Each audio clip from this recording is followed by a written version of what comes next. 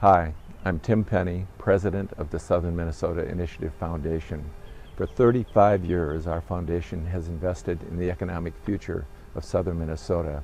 At this time of challenge, we especially appreciate the support that you have provided and ask for your support again. With your support, we can continue to invest in the early childhood professionals, entrepreneurs, and small communities across this region. I've been enormously impressed over this past year as Southern Minnesotans have responded to the current COVID-19 crisis.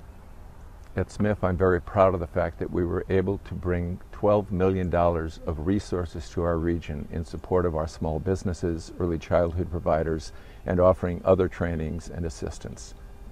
This is in addition to the annual $5 million budget that we expend across the region for a variety of programs in the early childhood economic development and small community space.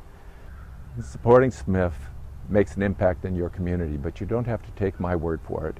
Here are some testimonials from others talking about the impact of SMIF's resources in your community.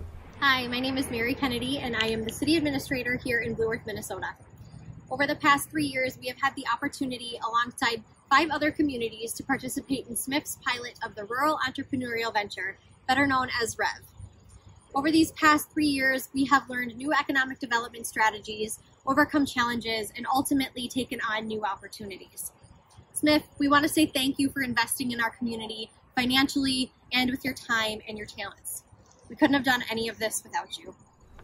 This is just a snapshot of the work that we do in your community. For more information about SMIF, you can contact us at our website, smifoundation.org. With your continued support, we can continue to invest in the future of this region, both in times of prosperity and in times of challenge. Thank you once again for your support.